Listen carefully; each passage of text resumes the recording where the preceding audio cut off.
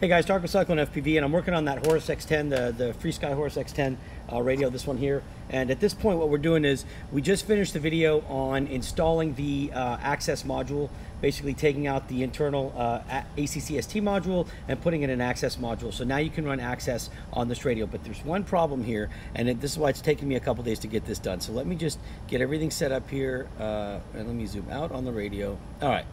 So let me zoom out. There we go. All right. So here's what we got. The problem is, and this is what I found out, and I didn't know this up until doing this, that in, uh, when you upgrade the internal module, it does not allow the radio, it has no effect on the external module being able to be uh, accessed. So after going back and forth and speaking with FrSky about this, apparently there was a latency issue that um, that uh, was not able to be overcome uh, when trying to do an external module. And so therefore, no matter what, even when we do this access update, which I'm going to show you how to do it, uh, you will still have to run, as you can see here, I'm running an R9M, uh, sorry, I guess I'll turn this over so you can see the camera. So this is the R9M standard long range module. And if you do have the 2019 Access Edition, you will need to downgrade it to uh, ACCST for it to work in here, okay? So that's disappointing news. I was not aware of that. I am now, and I'm, I mean, it does kind of bother me, but that's just the way it goes. So here's what, here's what you have to do though, and here's where you have to be very careful. So I am going to put the, uh, my screen up now. So let me put my computer screen up. There we go. All right. So first thing I'm going to do is I'm going to go ahead and head on over to the web here, and I'm going to go to our website, right? So let me um, let me do something here. Let's go to where's our website?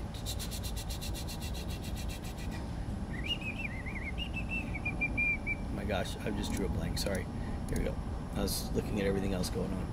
Okay, so one of the things that we want to notice here is that um, I did create a new page here, uh, and it's going to be under tutorials and let's see I hope it's going to be here should be the first one here it is I just started putting this up today um, so there's going to be more content on it and I've already put the first video but here's the thing. You're going to need to download this here. This is the firmware for the mod that you're going to do inside. If you try to find it on FrSky's website they've got so many different versions of it. They've got one for the radio version blah blah blah. Next thing you know you've downloaded the wrong one it won't work. So just take my word for it download this one and then follow the video uh, that's going to be put well this video that's going to be posted right here. So you can, um, this video will reference coming to this page, okay? All right, so first thing we're gonna wanna do is let's head on over to OpenTX, and what you'll see right here, it says uh, you have to follow the firmware download from OpenTX, see the video, that is this video that you're watching right now. So we're gonna go to OpenTX. Here's what you need to do. In your radio settings, this is where, this is, this is what took the longest time, for me to figure out what combination I needed. Leave everything like it was and only use the internal. If you use the external, you will now not be able, it, it, whatever it does to this radio, it prevents even the ACCST module from working from that point, okay? So you need to make sure you do not check this, all right? And then when you've got, uh, you've got no heli, Lua scripts, Flex 9RM, and then you've got internal access. Once you have those selected, then you're gonna go ahead and download it. Now I've already downloaded mine, okay, and I saved it. Then once you do that, you're gonna flash it. So you'll click this button here, and if you don't remember how to flash your radio, you will find that uh, I have mine labeled because I downloaded all different. I downloaded just the ACCST. I downloaded Access where it's both internal and external, and then I downloaded this one named it iAccess, which is for internal access. Okay. Once you load that on here, and, and I guess what we'll do is we'll go ahead and do it anyway. So I'm going to go ahead and put my radio. So here goes.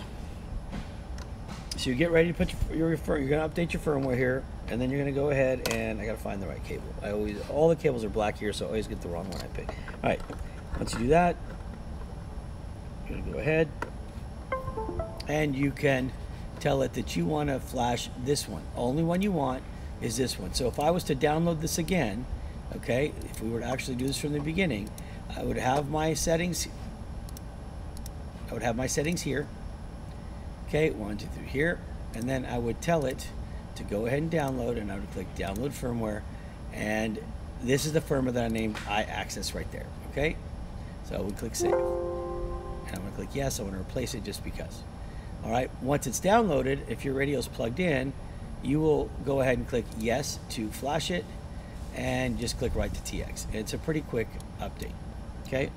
Now it's gonna get your internal module to now be able to take the firmware update, okay? And it says it's done. It's gonna take just a second here.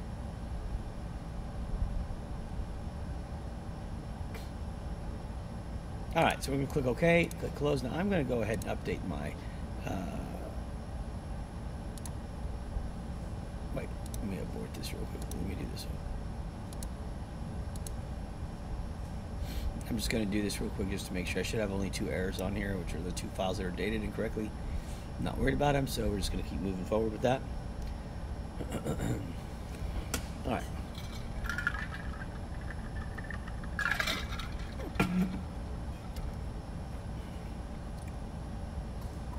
Okay, well, we'll just let it sit here for a while. It takes a while.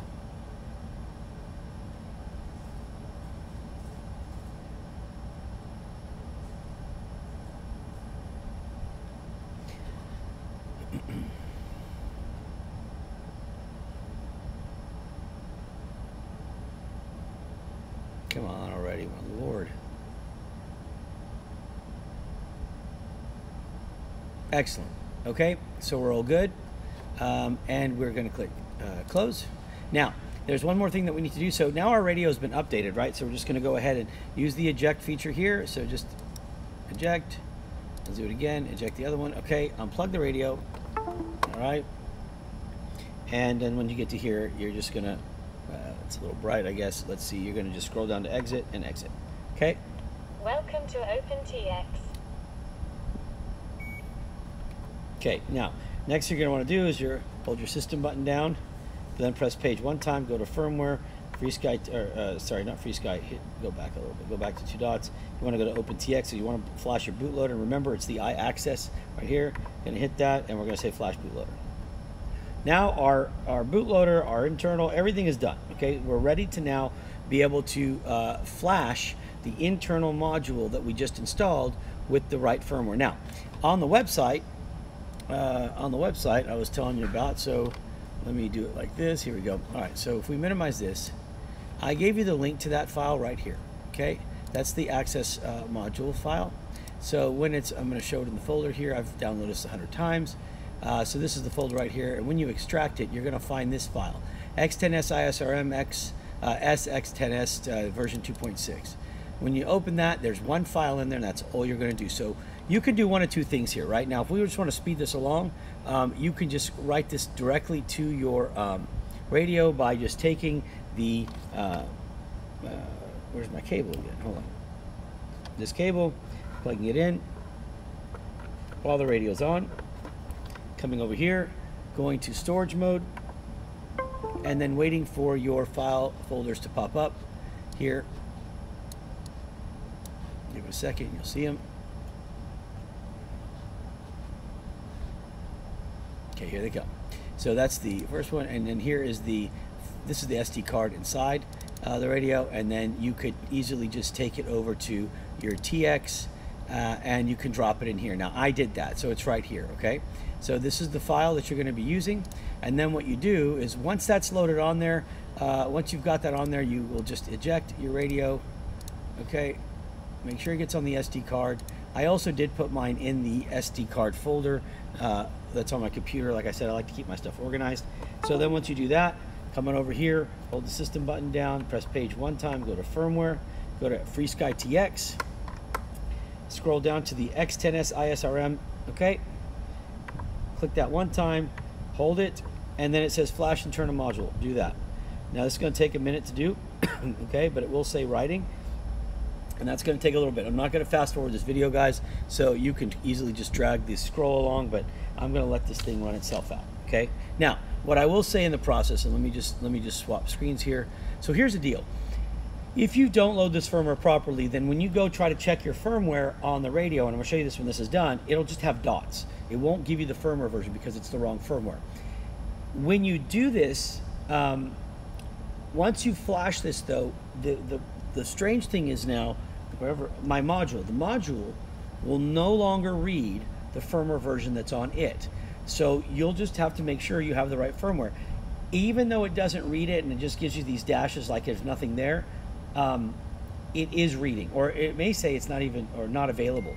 Whatever it is, I tested it to make sure that even if it gives you the, the reading says not available or the dots, the external module, the R9M, not the ACCST version, is working properly, and it is. So I used a uh, R9MM receiver, which is sitting right here, and I flashed and I bound to it. And even when I when I cannot see a firmware version on my radio, and like I said, I'll show you what I'm talking about. It still binds, and it still it will bind. So you don't have to worry about that. Just make sure you use the right firmware for your um, for your R9M uh, uh, module. And uh, so I will show you that as well. But right now, what we're going to do is we're waiting for this to get done. So let's head on back over there, and we're going to let it run its course here, guys. So I told you to take just a minute. Um, and then I'll show you what it looks like on the inside, and then that's it. And then you guys can take your race. I, like I said, I'm a little bummed that we couldn't use access for the uh, for the uh, external, but um, since all the, since a lot of the access receivers long range can be backwards compatible to ACCST, uh, I didn't have a problem with that at all. So so I mean for me it's fine. I just thought that this module would have also assisted in that way somehow, but it didn't. All right, so we're almost done, um, and this is the setup that I have where I tested the R9M. All right, and so I'll show you guys that in just a second and show you that it does work even though it doesn't give you a reading. It's very strange. All right. And I did try that with the 2019, even though it does read access. If you if you load that firmware, if you load that OpenTX and check external mod access, um, it will allow you to select it R9M 2019 or R9M access. It won't work though. It won't bind. Okay. All right. So we're done here. So it says it's successful. Now what happens when I go to model is I can now go to my internal and I can click it and I'll have access. I'll have the option to add access uh, as the uh, as uh, the module, or I can turn it to D16. But remember now, I don't have anything for D8. That's gone. Okay. Uh, as far as the internal goes, here's what I want you to see. So I'm going to turn the I mean the external. I'm going to turn the internal off because I don't need that on right now. So let me turn that off. Let's look at the external. The external is R9M. There's no other options for R9M. There's no access, but there's all the other ones. But let me just go to R9M. Right there, okay? Now, when I go to my system checkup and I look at module firmware, look, my internal is off because I turned it off, but my external is on, okay? The light's on. You can see that, the light, the red light's on right there.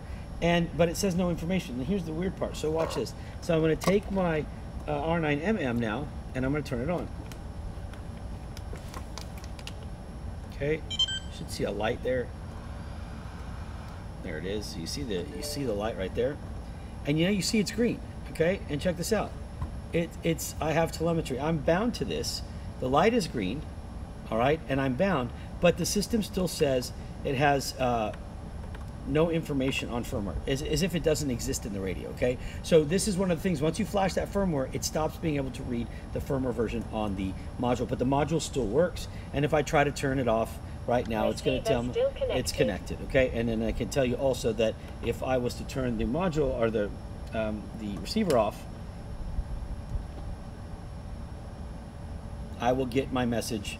Uh, basically um, my radio will register uh, at some point here that my telemetry is lost okay? So this is that's basically what you do to get your stuff loaded so that you can run uh, long range and you can uh, you still run R9M but it'll be ACCST and then you will still be and you will be able to run internal uh, like anything that's not long range access edition uh, on your X10. All right.